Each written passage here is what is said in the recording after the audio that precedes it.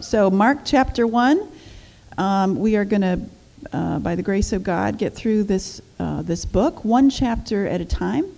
So, feel free. I encourage you, if you can, read the chapter ahead of time. It'll make it uh, mean so much more. And, of course, if you want to read it afterwards, I often do that after a sermon. I do it again, right? So, uh, we already prayed, so let's get started. Um, I'm very excited about studying this book. And uh, as I mentioned, we'll study a chapter each time. Some of the chapters are longer. This is a long chapter, so I'm going to talk very fast uh, to try to get through it. But there's some really cool things in it uh, that I loved finding out. Um, the format will be the same as we did last year, which is a, a time of worship, the teaching, a reflection time alone with the Lord, and then discussion together, and then prayer. And then if you can stay for lunch, stay. Okay, so this book was written about 50 to 70 AD, so that's possibly as little as 17 years after the death of Jesus. So it's possibly the first uh, book written, the first gospel written. Um, it's written by John Mark. Obviously, his name is on here. John is the Hebrew name. His Hebrew name, Mark, is the Greek name. And most scholars feel it's really Peter's gospel Mark wasn't there, of course, um, living with Jesus, walking, traveling with Jesus, but Peter was. So people think that Peter um, told John Mark and he wrote things down. They were very close, uh, Peter and John Mark. When Peter was released from prison, he probably went and stayed as, at John Mark's mother's home, and Peter calls him my son. So when we think about the Gospels, Dave talks about the Gospels as being um, often as being um, people looking at a chandelier from different angles. So there are different themes that the four gospel writers um, get into. They have different styles, of course, all inspired by the Holy Spirit, but written down by one person with a little bit of the personality of the person who is writing it. Um, but we get a better picture of Jesus because we have four different people witnessing to him, whether they're eyewitnesses or Luke, who was so scholarly and interviewed so many people and got it all together scientific, really. So um, this book, the um, was written for Roman Gentile Christians. So this would be people that were not Jewish and that were citizens of the powerful Roman Empire, which at that time was in control over Israel.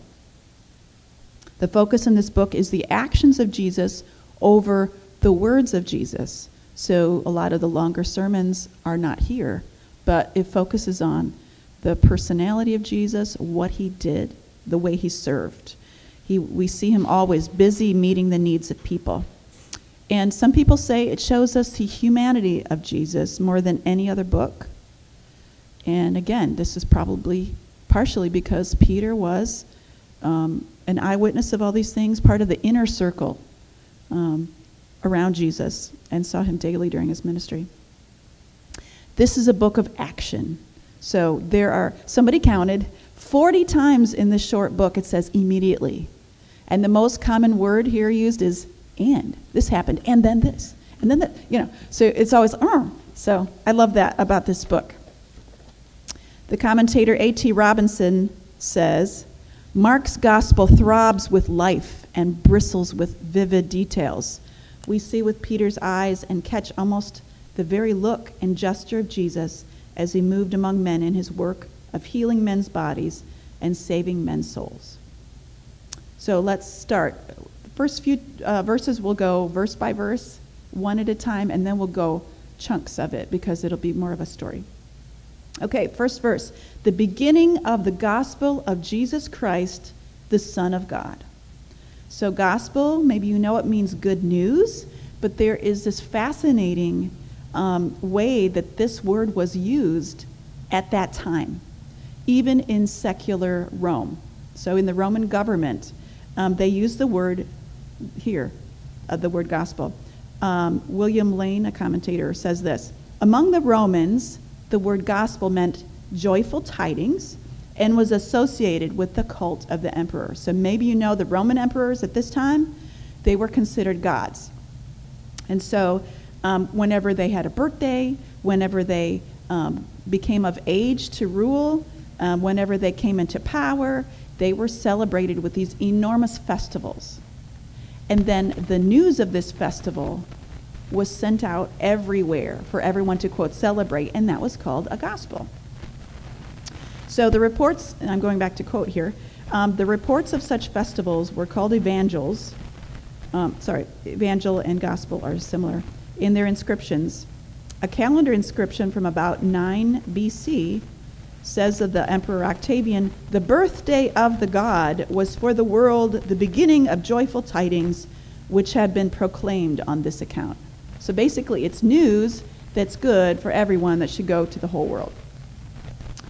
Um, so this inscription that, that he uh, points to is remarkably similar to Mark's initial line, the beginning of the gospel of Jesus Christ, the Son of God. It clarifies the essential content of an evangel to the ancient world, a historical event which introduces a new situation for the world.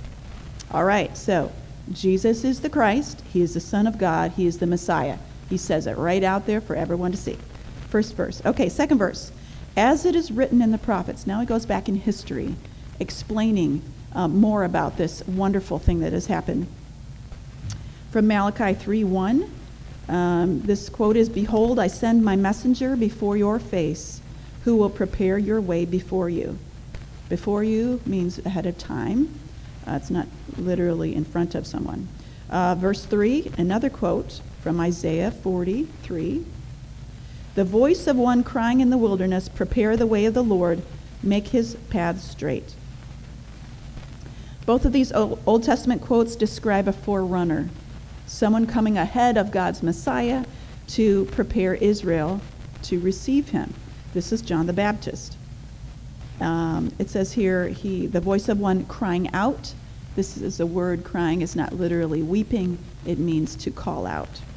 And this is also an amazing thing. John MacArthur says about this John was the divinely promised messenger sent to prepare the way for the Messiah.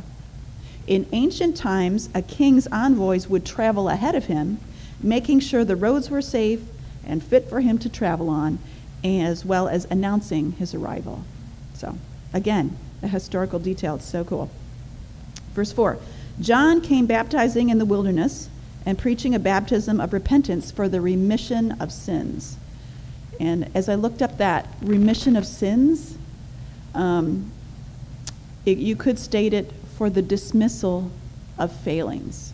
And I just thought that was just really precious. When we repent, all of our failings, they are sins, but all of our failings are dismissed. It's kind of a, a different way to look at that. Okay, and then mentions baptizing. That literally means to immerse or overwhelm. This was and still is an outward sign, a washing, of a person, and it signifies a person's inter, inner repentance. So it's an outward thing that shows what's happening on the inside. Verse 5 Then all the land of Judea and those from Jerusalem went out to him, this is John the Baptist, and were all baptized by him in the Jordan River, confessing their sins. So maybe you know the Jordan is a major river in Palestine. And when it says all, all went out to him, um, that means a lot of people responded to John's ministry. Verse 6 Now, John was clothed with camel's hair and with a leather belt around his waist, and he ate locusts and wild honey. And he preached, saying, There comes one after me who is mightier than I, whose sandal strap I'm not worthy to stoop down and loose. I indeed baptize you with water, but he will baptize you with the Holy Spirit. So, what do we learn about John the Baptist in verses 6 through 8? He had simple clothing, he had simple food. He was not an evangelist that was trying to impress the people with his appearance or with a fancy church or by using smoke machines during worship. I didn't hear about any offerings being taken, but I don't know.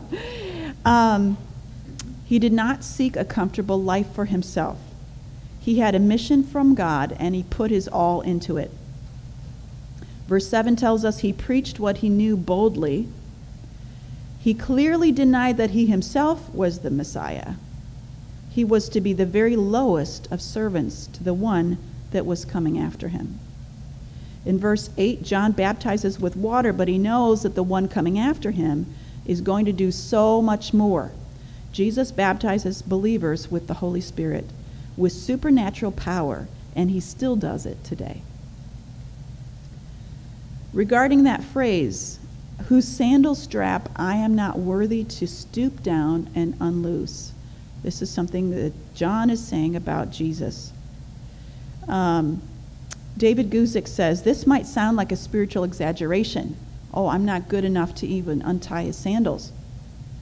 But John said this because in his day, the rabbis, the teachers, taught that their followers, the rabbis' followers, um, should do whatever they asked of them, except to untie their shoes. That was considered a little bit too much. So that is why he picked that phrase. John said he was not worthy to even do that lowly chore. Verse 9 It came to pass in those days that Jesus came from Nazareth of Galilee and was baptized by John in the Jordan. And immediately coming up from the water, he saw the heavens parting and the Spirit descending upon him like a dove. Then a voice came from heaven You are my beloved Son, in whom I am well pleased. Jesus was born in Bethlehem, fled with his family to Egypt, and then returned to Israel and grew up in the small village of Nazareth. Now, Jesus was baptized not for the repentance of sins, but for the, the beginning of his ministry, to start that new phase of his ministry. In this passage, we see all three members of the Godhead. Jesus is being baptized, the Holy Spirit descends like a dove, and the Father God speaks audibly to everyone in attendance and commends Jesus. The Trinity of God is a, a, huge subject, but we always see them in tandem with one another. They have the same goals, the same methods. They have perfect, beautiful fellowship with one another. So, already in this chapter, we hear several testimonials about Jesus' divinity and his mission. In, these, in this very first sentence in the in Evangel, Mark declares that Jesus is the Son of God. Mark quotes two Old Testament prophets who told about the coming of the Messiah, clearly saying Jesus is the Messiah. John the Baptist testified that a Holy One is coming after him, who was to be the Messiah. John him, or God himself declares audibly to all that Jesus is his beloved son and he is pleased with him. And finally the Holy Spirit comes down upon him in a visible way. I mean bang bang bang, right? Okay, so we see the heavens parting. That means to split, to rend, to cleave. So I yeah, I was trying to imagine this. Just opening up I can't do it, but uh, it's a very incredible thought. God the Father calls him his beloved Son. That is the word agape, but there's um, there's some ways that that um, that means a specially beloved one, like he is a singularly loved one by God. You and I are agape by God as well, but Jesus in a special way, only to him had that agape relationship with his Father. Okay, verse 12. Immediately, the Spirit drove him into the wilderness, Jesus. And he was there in the wilderness 40 days, tempted by Satan, and was with the wild beasts, and the angels ministered to him.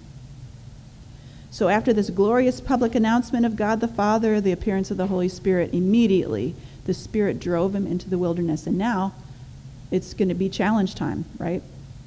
To be tempted by Satan, tempted is to make proof of, to uh, test. Jesus goes into the wilderness by the unction of the Holy Spirit, and now it's time to spend in solitary prayer and to begin his ministry with being victorious over Satan's temptations. Doesn't that make sense? If he's going to accomplish anything else in his life, let's start with this, right?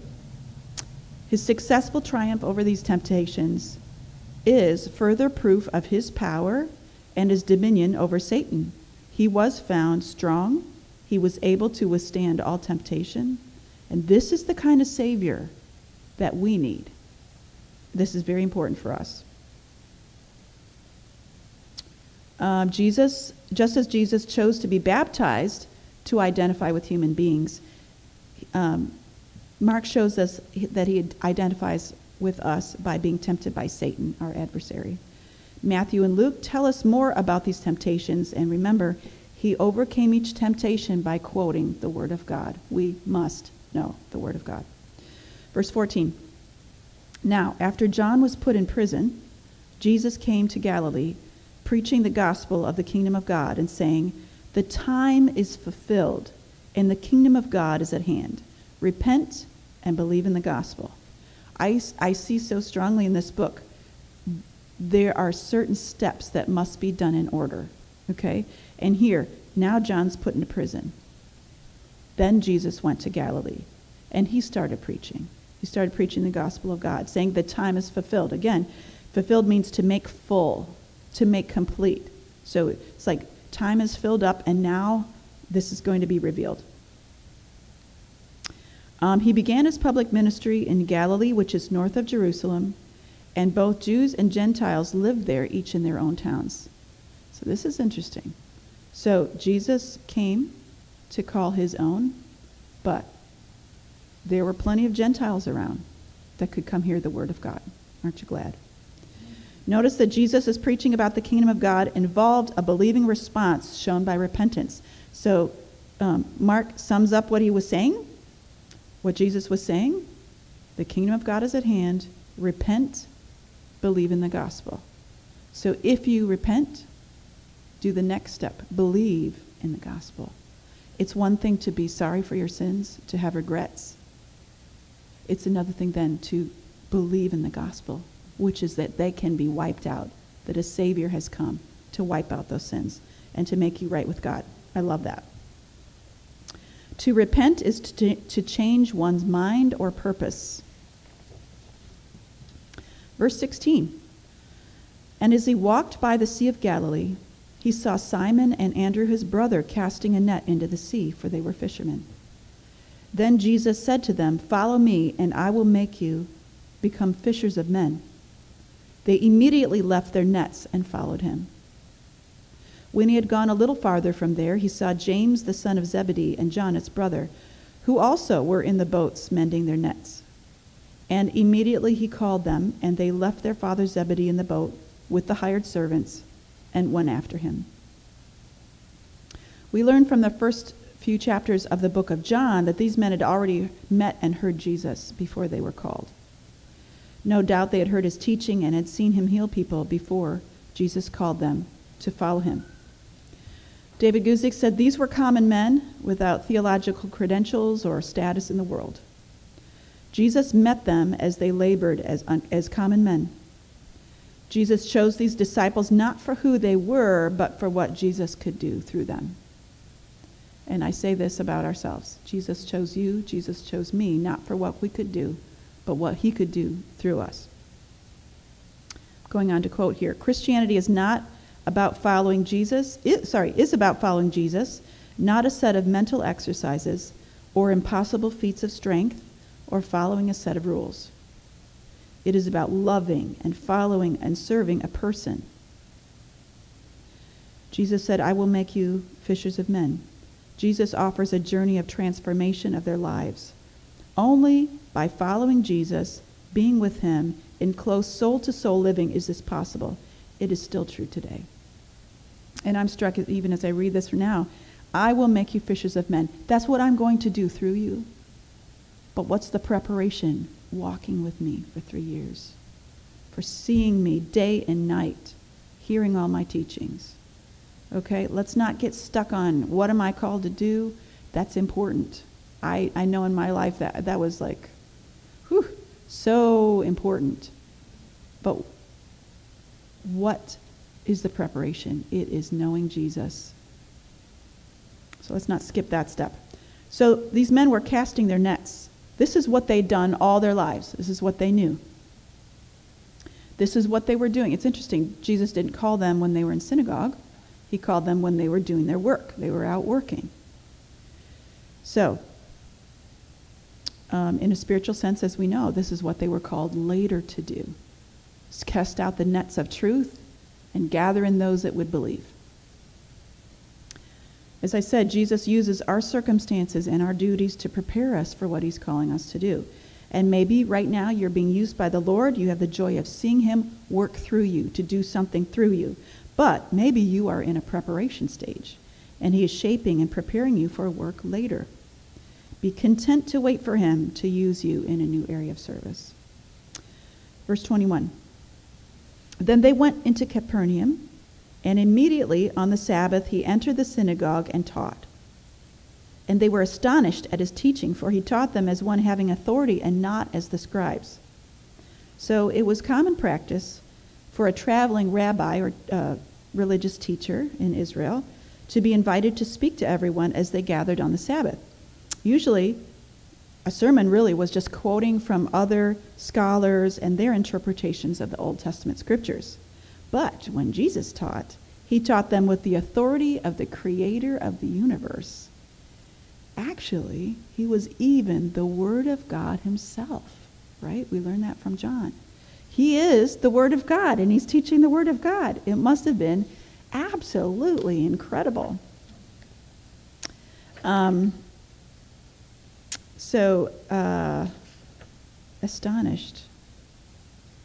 Okay, they were astonished at his teaching. We'll, we'll talk about another word later, I guess. Verse 23. Now there was a man in their synagogue with an unclean spirit.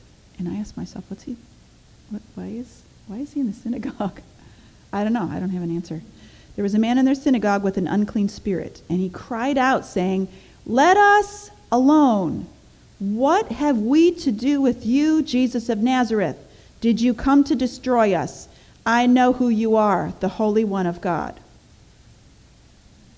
Again, already in this gospel, Mark, the author, declares several times that Jesus is the Son of God. And now, even demons are well aware of Jesus' true identity and they declare it out loud.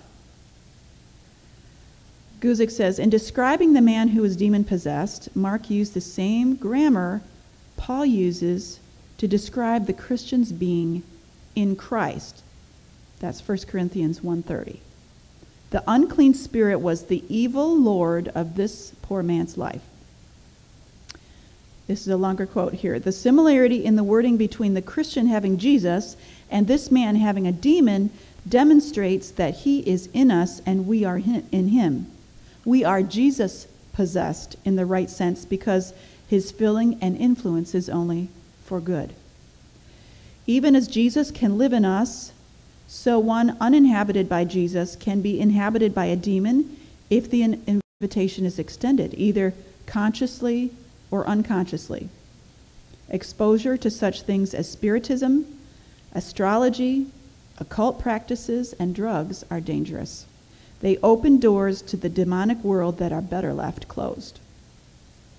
So I will add if any of these things are in your past and you have not confessed them and renounced them, um, and you'd like someone to help you, I'd be happy to help you. But either way, by yourself, with someone else, please do it. You don't want the devil getting a foothold. And I will add, remember, even anger. We talked about anger on Wednesday night, right?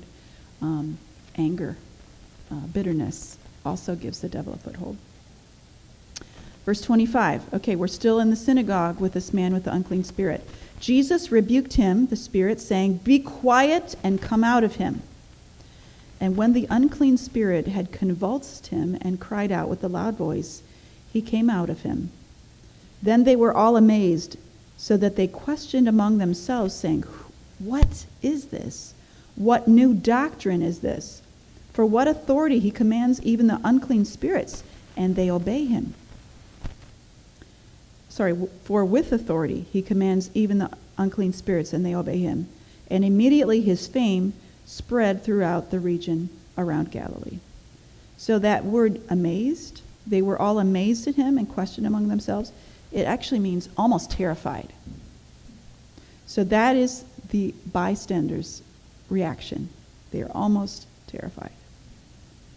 Why did Jesus command the evil spirit to be quiet? I thought he was declaring that he was the Son of God. John MacArthur says Jesus wanted no testimony to the truth from the demonic realm to fuel charges that he was in league with Satan. So later on, some people say, oh, well, he has an evil spirit. He's the prince of the Beelzebub. He's, he is doing this because he has an evil spirit. So he doesn't want that um, quoted about him. Uh, Guzik says, Jesus didn't need to rely on hocus pocus or ceremonies when he's talking about delivering this man.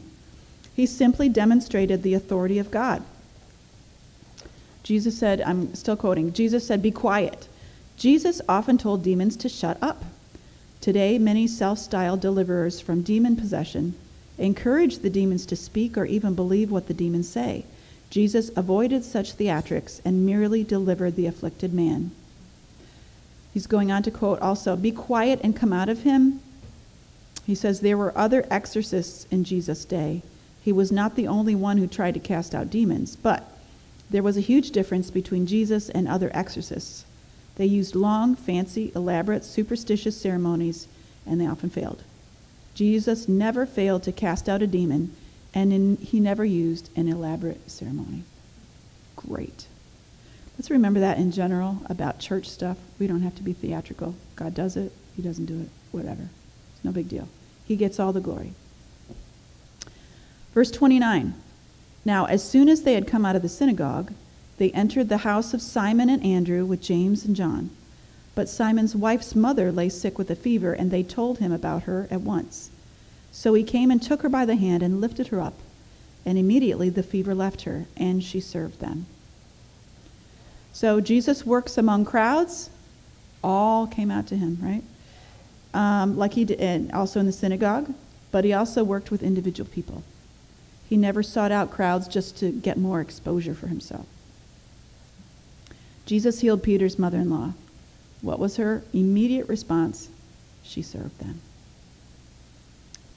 Verse 32 At evening, when the sun had set, they brought to him all who were sick and those who were demon possessed, and the whole city was gathered together at the door. Then he healed many who were sick with various diseases and cast out many demons and he did not allow the demons to speak because they knew him. So, news of Jesus' healings and deliverance for the demon possessed traveled fast. But people had to wait for the Sabbath to be over because there was a rule that you couldn't carry anything. So, you had, if you were carrying someone, um, you had to wait until the sun went down and the Sabbath was over. So, when the sun had set on the Sabbath day, Jesus was deluged with sick people. He was up far into the night, healing and casting out demons. He served the sick and demon possessed people, and he brought joy to many people. He served. And I'm just thinking, too, it says um, the whole city was gathered at the door. He's probably still at the same house. So uh, uh, that's interesting. So, healing and casting out demons he did these things in tandem with his preaching. He healed and delivered people because he loves them and doesn't want them to suffer. But also, um, the power to heal is going to give credence to his message, to his power, but it, to his message that it's true because if someone does something supernatural, you sit up and listen, right? So these substantiate who he is and what he has the power to do. Verse 35.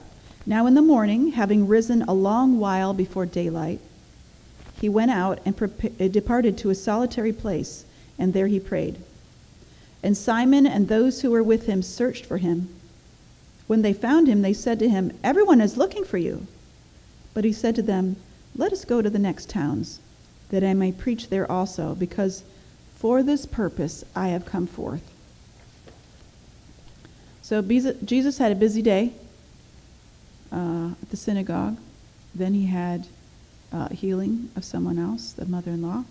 Then after sun went down, all said all these people came for healing. And then he had a short night because he got up way before morning. Looking ahead to another busy day, Jesus went out to pray alone. Um, and I, I, was just reminded of um, Martin Luther, the um, Reformation. Pivotal person in the Reformation, uh, which was good. Um, he, he, I remember a quote sometime he said, I have such a busy day planned. I, I've got to spend three hours in prayer. So that was interesting. We're more like, um, can I just read a Bible verse and get going? Um, so anyway, this is Jesus too. Lots going on. He wants fellowship with his Father. And it's interesting, um, that's what he wants fellowship with his Father. So the disciples, they're new on the job. They had to look for him. They weren't sure. I'm sure by the end, oh, he's probably praying. We can't find him. Uh, they were anxious because so many other people wanted to see Jesus. We are like the disciples. You're popular, Lord. Hurry up. Your fans are asking for you. They want something. Do something. You need to get more and more popular. You know, let's, let's get crazy now. All these people are coming. But he surprises them and busts their ideas. Let's just go to the other small towns around here. Then Jesus drops the bombshell on them. I have come here to preach. I can heal, yes, but the main reason I'm here is to preach the good news of the kingdom. This is my main goal.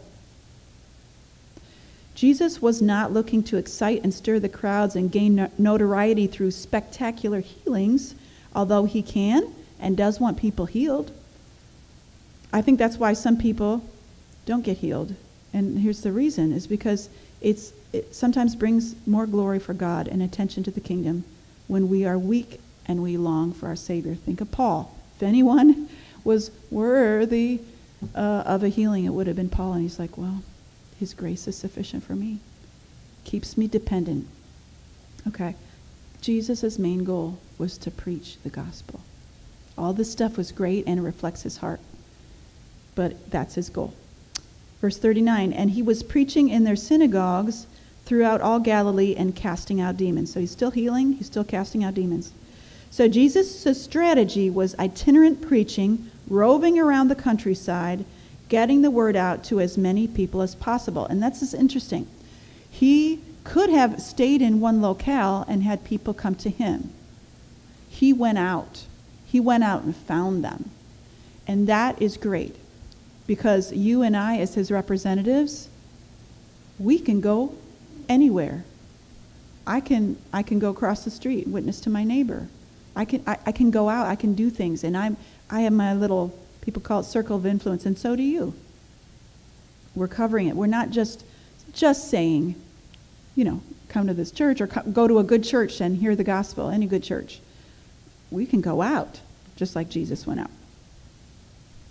Okay, uh, we see that Jesus is doing many, many miracles and healings, and now a particular one is going to be highlighted in this short book. Verse 40 Now a leper came to him, imploring him, kneeling down to him, and saying to him, If you are willing, you can make me clean. Today, I read there are still 15 million people in the world with leprosy. I had no idea. It is a disease where pieces of flesh slowly rot and then fall off. Certainly in Bible times, no one was ever healed of leprosy unless it was a direct miracle of God. Lepers lived apart from society and depended on loved ones to leave baskets of food for them. They lived out their, quote, life sentence with other lepers, watching their slow and steady disfigurement. Usually, rabbis stayed away from lepers since touching one would make you ceremonially unclean. Any person, really. Understandably, most people were repulsed by lepers and wanted them to stay away. So here, this leper is desperate, but notice he approaches. He approaches. He takes a risk, right? He implores Jesus and kneels down before him and speaks to him. We see the leper is sure of Jesus' ability. He says, You can make me clean. He is sure of Jesus' ability to heal his leprosy completely, but he is unsure about his willingness to heal him. So he has faith that Jesus can do it. Also, I think it's interesting he asked for cleansing, not just healing. You can make me clean. It suggests to me that this leper wants to be right with God. Maybe he knows he had, not only has a physical problem, he knows he has a sin problem. Either way, Jesus is a solution.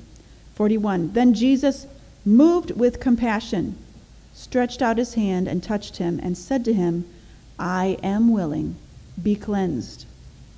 As soon as he had spoken, immediately the leprosy left him, and he was cleansed. And he, Jesus, strictly warned him and sent him away at once, and said to him, See that you say nothing to anyone, but go your way Show yourself to the priest and offer for your cleansing those things which Moses commanded as a testimony to them. So, a very interesting little passage. Compassion, interestingly, this word, apart from the parables, this Greek word is only used for Jesus. Jesus has more compassion than you or me or anyone you've ever met. He has that unique compassion on people. The touch came before the voice. He reached out and connected. Then Jesus, in a few words, addressed the question about his willingness to heal and cleanse and said, I am willing. Notice that although all of creation was, was created by the spoken word, Jesus chose to touch the leper instead of just commanding him to be cleansed. Can you imagine how precious that touch was to the leper? I think it was part of the emotional healing as well. This leper had left his family, he was avoided by everyone, and lived in lonely places. Think of what that touch meant to him. Jesus was already perfectly holy and could not become unclean or contaminated by this leper. We know, one reason we know is because he successfully went through the temptations of Satan. He had no sin in him. The instant he touched the leper, the leper did, could not infect him, but rather his perfect holiness and power made the leper healed and cleansed. So the last part of this is very interesting. Jesus warned him, sent him away. Don't tell anyone. Go do what the law requires. Again, if you or I did that, we'd probably hope they put it in the paper or, you know, somebody had a video of it and it could be played a million times, right? This case, he didn't want that. That strictly warned him phrase means to be moved with anger. Jesus is angry, not angry at him, angry at the possibility that he's not going to obey what he's saying. To admonish sternly, even to snort. I thought that was so interesting. So, before we try to explain that, let's look at the emotions of Jesus in just this one little passage incredible compassion for this man. Then a stern warning. He's, he's almost snorting. This is why. He did not want his ministry limited by the disobedience of this man. He was so compassionate to this leper, but he needed the man to acknowledge him as Lord and obey his stern warning.